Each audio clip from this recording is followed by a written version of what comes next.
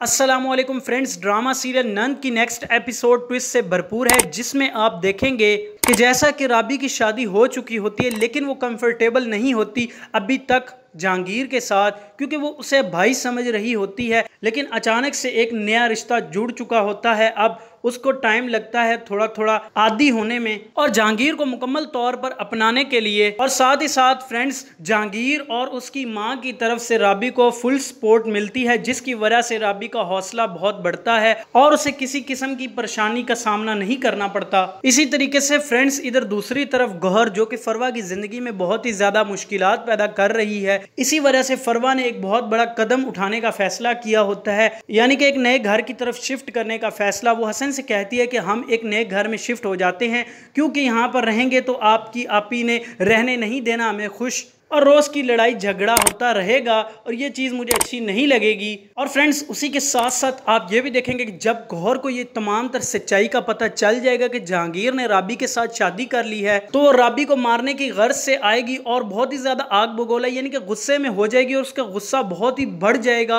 और उसका दिल कर रहा होगा कि जहाँ पर भी मुझे राबी मिले, मैं उसको मार दूँ। लेकिन फ्रेंड्स जैसे ही आएगी गौर अपने ही घर राबी से बदला लेने के लिए तो आगे से जहांगीर को पाएगी और जहांगीर उसे रोक लेगा और कुछ ऐसा नहीं करने देगा राबी के साथ, क्योंकि उसने वादा किया होता है राबी के साथ कि हर मुश्किल, हर परेशानी और हर तकलीफ़ में वो उसका सहारा बनेगा। इसीलिए तो उसने उसका हाथ थामा था। और फ्रेंड्स, वो भरपूर अंदाज से डिफेंड करेगा और राबी को बचाएगा। और फ्रेंड्स, आहिस्ता आहिस्ता से यही चीज़ें होंगी जहांगीर की, जो कि राबी को बहुत ही ज़्यादा पसंद आने लगेंगी। और इसी तरीके से जहांगीर राबी के दिल में अपनी जगह बनाने में कामयाब भी हो जाएगा। और फिर राबी के अंदर भी इस कदर जज्बा और हौसला आ जाएगा कि वो भी गौहर का सामना करेगी। और फिर आगे ये भी आप देखेंगे कि वो मज़बूत अंदाज से गौहर का मुकाबला करते हुए उसे दो टोक जवाब भी देगी। और वो पहले की तरह तो बिल्कुल नहीं रहेगी।